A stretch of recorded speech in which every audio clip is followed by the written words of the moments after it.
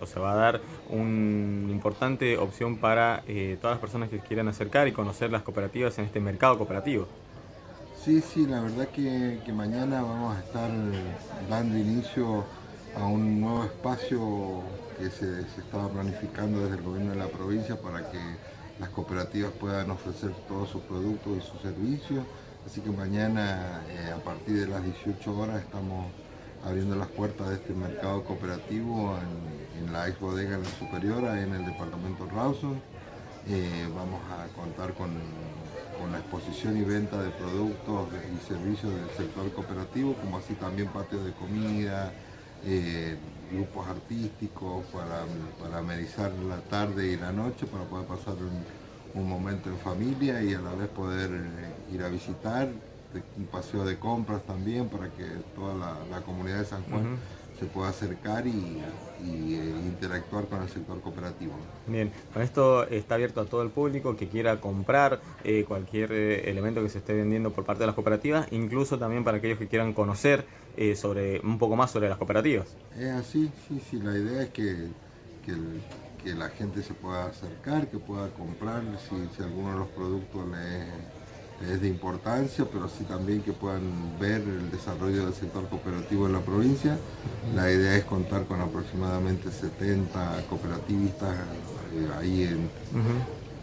promocionando sus productos para que, para que bueno, toda la comunidad pueda acceder a ellos y a la vez, como te decía recién, que puedan pasar una tarde en familia. La idea es el día sábado y el domingo. El domingo también estaremos arrancando sobre las 17 horas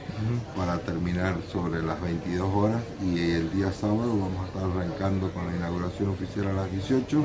y pensamos estar terminando sobre las 23.30, 24 horas. ¿Qué va a poder encontrar eh, la persona que vaya a este, a este mercado? de la cooperativa más chica hasta la más grande, ¿no? Sí, sí, la idea es que, este sector cooperativo, que los que tengan mayor producción de alimentos, por ejemplo, vamos a encontrar panificaciones, dulces y conservas, vamos a encontrar textiles, vamos a encontrar carpintería metálica, carpintería en madera,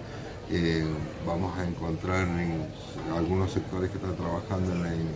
innovación tecnológica, bueno, va a haber para, para todo el mundo, artesanía,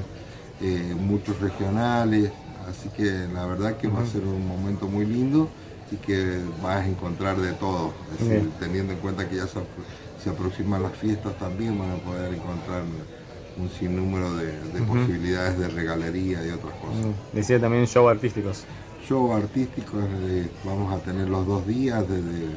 desde grupos folclóricos, va a estar Díaz Heredia, va a estar los chicos de, de los genios con cuarteto, La Oveja Negra, con, su show tan, tan importante que ya conocemos, y una serie de grupos más que, la idea es entre el sábado y domingo poder contar con ellos en el escenario, que, donde van a haber sorteos, donde vamos a tener permanentemente actividades para, para que la gente no se aburra, para que pueda recorrer cada uno de los stands de venta de las cooperativas y a la vez disfrutar de un patio de comidas, de un helado, de, de, poder eh, ver y disfrutar de los espectáculos. Bien,